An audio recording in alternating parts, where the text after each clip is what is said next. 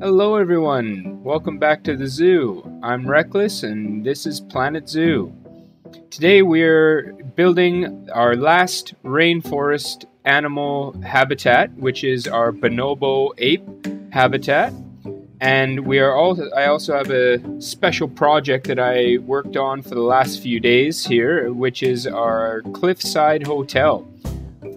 We'll get to the hotel after our habitat build here, so I wanted to kind of include both of these in one video for you guys to kind of uh, give you a little bit something extra to see today, uh, as in comparison to the normal habitat build that we nor- we usually do.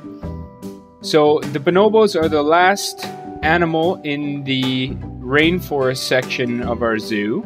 So I wanted to give them just a not the biggest habitat, but something that looked nice and was a, a cool addition to this section of the zoo.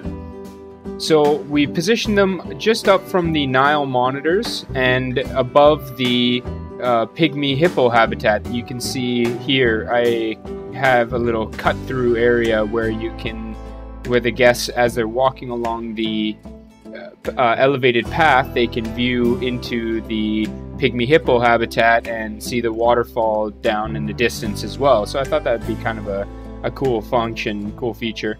the bonobos themselves uh, live in Western Africa, I believe, and they are a, an animal that's in this rainforest section uh, according to the biomes in game. So this is the last animal before we get to kind of the uh, savanna lowlands, and I have a an interesting idea for the savanna. Basically, I wanted to have this rainforest elevated up above the rest of the African section. So it took me absolutely ages, but I've managed to lower all the terrain uh, for the rest of the Africa section. You won't be able to see it in this part of the video just yet, but once we begin on our hotel, you will you'll see with the, a bit of the progress I've made as far as that goes. But lowering the terrain in this game takes absolute ages. Like I, I, I push a bunch of it down and use the flatten to foundation uh, I've I've taken to actually using the terrain cutting tools, uh, where like you can t- uh, take the shape tool and actually cut out the uh, a section of the terrain, and then I just go through and smooth that along uh, to speed up the process because it was taking me absolutely ages just to lower the terrain, you know, and uh, I, I didn't want to spend hours and hours and hours just not even building anything, just simply lowering terrain.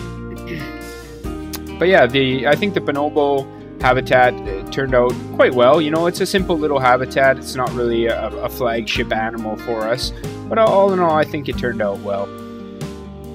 Not sure why we're viewing the chimps here, but uh, the the bonobos are really active in climbing and stuff like that. They they climb the trees that I put in here, which I believe are the uh, I want to say the marula trees, but I'm not, not don't quote me on that. But they they're avid climbers. They're always up in the trees, which is really cool to watch and look at. So now we're moving on to the start of the hotel area, and this hotel is inspired by the Kruger National Park in Africa. Uh, I believe it's Kenya that the Kruger National Park is in. Let me just fact check that before I get carried away.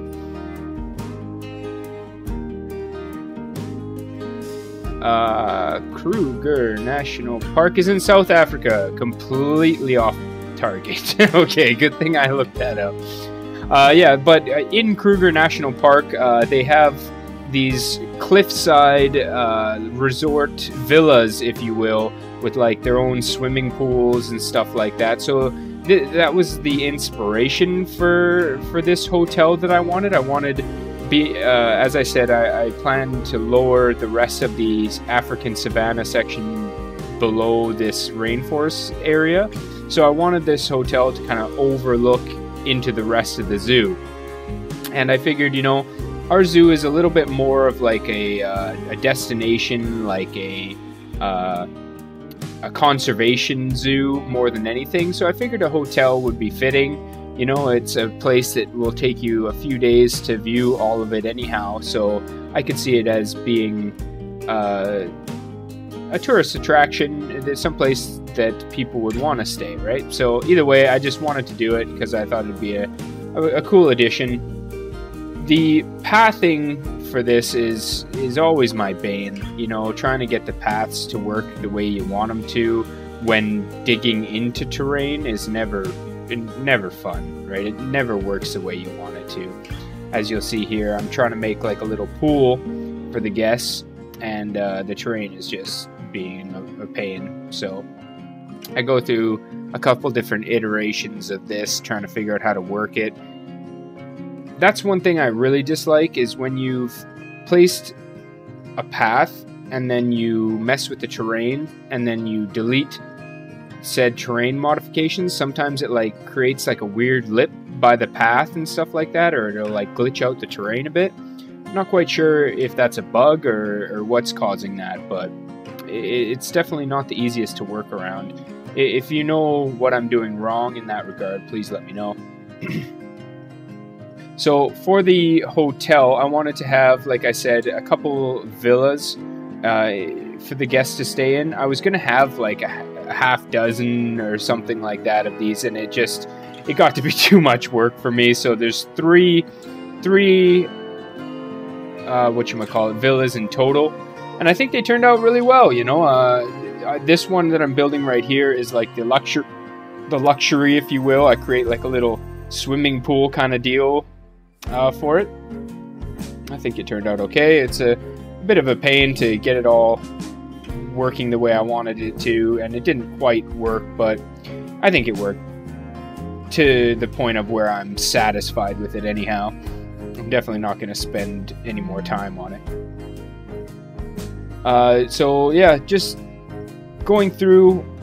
If you look on the Kruger National Park uh, like if you do a Google search for the images of their hotel, basically each villa like overlooks into the jungle uh, o- over this cliff face, and it's it's absolutely breathtaking. You know, it's somewhere that I'd love to visit at some point in the future.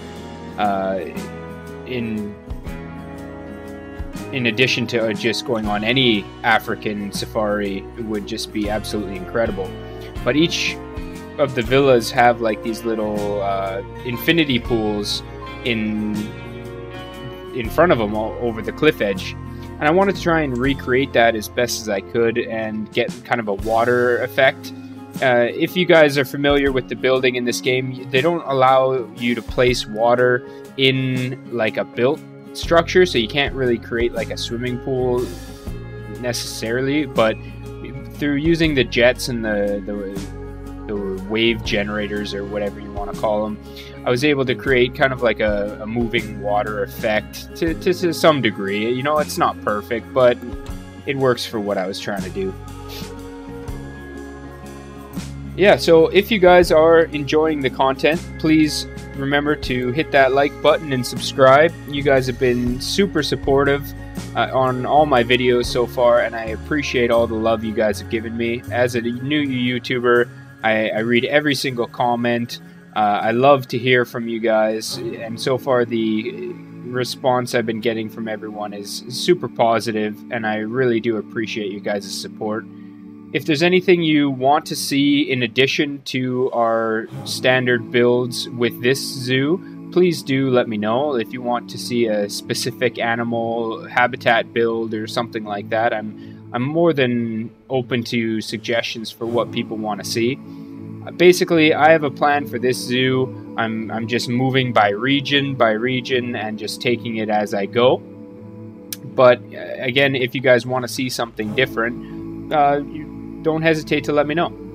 So here I wanted to create uh, like an actual resort, right? So you, are obviously going to have a bed. So I, I, wanted to create like a bed and a hammock area, just like a, a, tropical resort feel, right? So I messed around with the different materials to make my own bed. And I've actually saved that now as a uh, blueprint so I can pull it up anytime I want and just uh, have this African style bed to place if I ever want to have uh, even like a, a, not a guard but like a keeper house or something like that that if I want to make it custom I have the option to do so. Again messing around with these paths was the biggest bane for this project I, I found but all in all I think it turned out okay. Yeah so if anyone doesn't know you can select any of your building items and uh, save it as a blueprint. So I, I believe the limit is like I want to say 5,000 pieces. I can't remember what the limit is. Somebody had said it in, in the past, and I, I just can't remember exactly what it is, so don't quote me on that. But you, you basically, you copy, you select all of the pieces that you want included, and there's a button on the little window in the top right that says save as a blueprint. And you choose what kind of blueprint it is being uh, staff or guest facilities or a prop or scenery stuff like that. And you can uh, save it in your blueprint. So when you want to just use it somewhere else it's it'll appear in your building items as you see right here and you can just plop it down and you don't have to mess around with uh, recreating something that might have taken a while. There's another piece I make in a later portion of the video here, and you'll see that in a few minutes. Still, uh, still a bit sick. Uh, this cold is hanging around for a lot longer than I would have liked it to.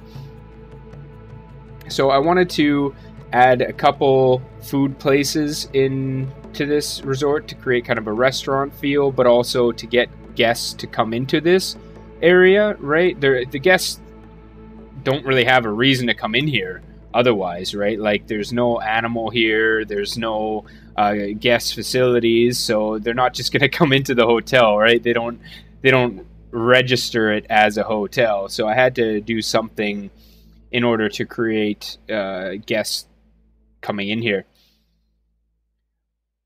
My th- my goal for this section was to have like a cable car that would carry the guests down into the savannah area. But again, I'm sure you've heard me gripe about this before. All of the transport rides in this game are a, a closed loop. So you have to loop the transport rides. You can't just have like a point to point transport ride which I, I really hope they patch or give us something in the future because I would love to have just like a back and forth A to B uh, transport, right? Like uh, I'm thinking like a gondola style cable car kind of thing, right? I wanted it to carry the guests from the upper cliff down into the savannah area and then just return back up, right? So I'm gonna have to mess around with that a little bit.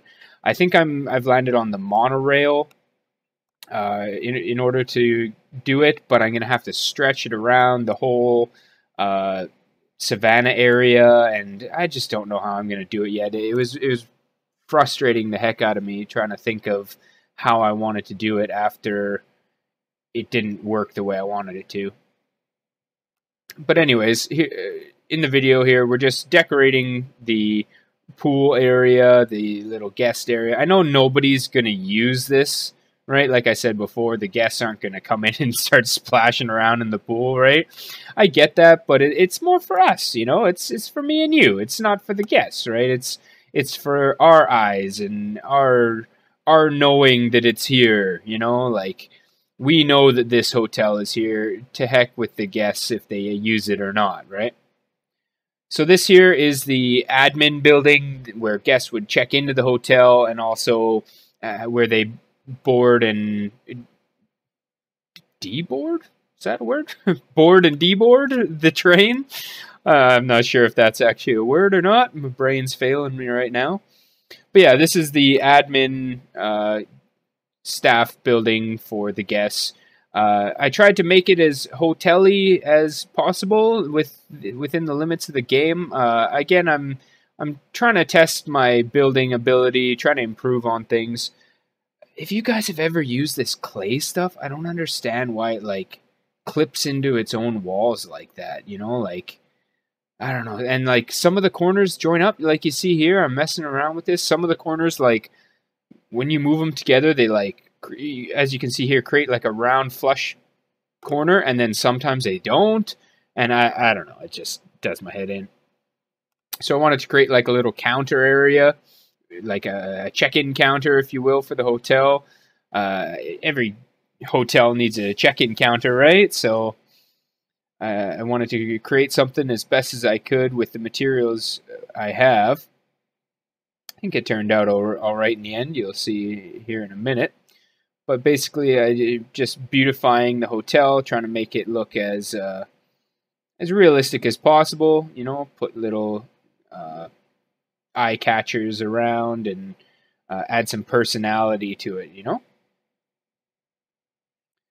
so overall the feedback I've been getting from you guys is super positive, and you've been super supportive. But I, I just want to know, like do you like these style of builds that I've been doing where there's a mix of uh, like before we did the dome uh, then we had you know our just habitat builds. Are you looking to see me struggle with building more or are you are you mainly liking just the habitat builds? I mean let me know what you guys like to see, and I'll be sure to crank out more of it for you guys. If you do want to see specific builds, like I said before, uh, make sure to let me know about that. But otherwise, I'm just going to keep trucking along uh, with the park or with the zoo section by section, and uh, we'll get to each animal as they come along. I did a couple tests actually, and it appears that with the new sandbox changes, I can actually combine uh, predator and essentially prey in the same habitat. Uh, so, in this safari type area, the savannah area, I plan to have like li- I believe lions and cheetahs in the same habitat with a, a, couple of the gazelles. You know, just create like a predator prey type scenario. And with the sandbox settings that I've set up, they don't actually attack each other anymore, right? Like there's no predation, there's no fear uh, from the animals, so they essentially just coexist with one another. Excuse me. So I, am gonna do some a little more further testing to see that it they work in the way that I want it to, so that they're not like spazzing out and doing weird things or whatnot. But uh, that's the goal, right? Is to have uh, predator and prey in the same habitat as if you would on the actual savannah, right? I think that'd be really cool if we can make it work that way. Yeah, so here we are just adding some greenery to the hotel.